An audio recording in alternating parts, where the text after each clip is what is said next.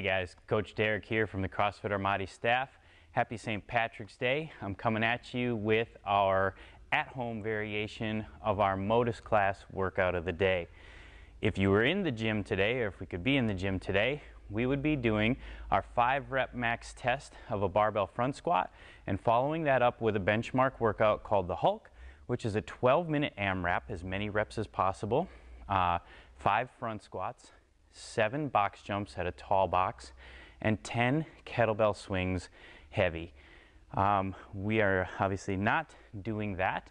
If you have access to home gym equipment and can pull off that workout, absolutely feel free to do so. You can find that in the Wodify app.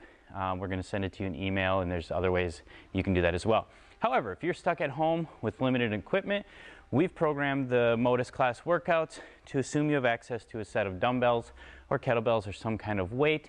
Feel free to try to get creative and come up with a body weight variation if you don't have that.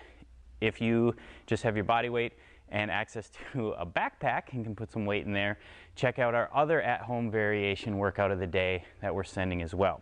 Now, for the Modus at-home variation, what we're going to do is start out with a five set of 10 rep double dumbbell front squat, and I'll demonstrate that in a moment. And then we're going to go into an at-home variation of the Hulk. So first, our strength component, we've got our dumbbells. You're going to bring them up onto your shoulders if you like this position. Otherwise, you can simply pop it into the front rack position.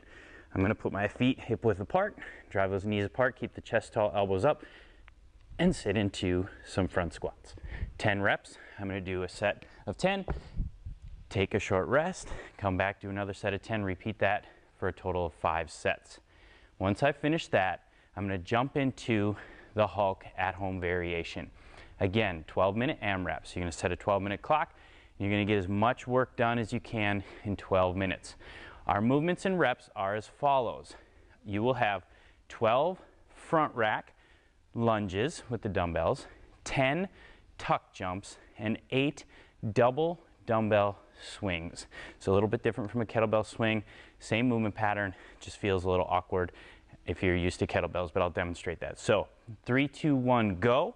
You're going to get your dumbbells up into the front rack. Again, if you prefer to put them up on the shoulders, that's fine. I'm gonna put them in the front rack. 12 lunges alternating. Every rep counts, so it'll end up being six each leg. If you don't like the front lunge, feel free to step back into a reverse lunge, trying not to let yourself buckle forward at all, right? Staying nice and tall. 12 of those. Dumbbells down safely into 10 tuck jumps to mimic the box jumps. Pulling those knees up as high as I can, getting a nice tall hop. You can do a step up or jump up onto some stairs, step up on some stairs, or you could just do an air squat if you need, okay? Then the third movement, eight double dumbbell swings. Hip hinge, drive through the hips, tossing that weight out in front of me, arms and shoulders are doing very little, just keeping the dumbbells from flying across the room or gym. So, there you have it. Your Modus workout for Tuesday, March 17th. We've got the Hulk benchmark workout.